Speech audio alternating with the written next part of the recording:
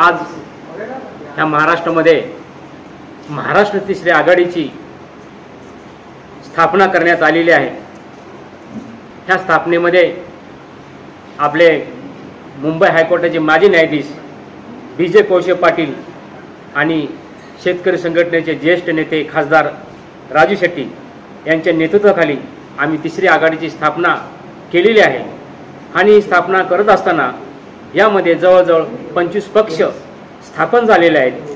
हे सर्व पक्ष काँग्रेस भाजप शिवसेना हे जे मेन पक्ष आहेत यांच्या विरोधामध्ये त्या तिसऱ्या संघट तिसऱ्या आघाडीची आम्ही स्थापना करून येत्या सव्वीस तारखेला पुणे या ठिकाणी आम्ही त्याची बैठक ठेवलेली आहे.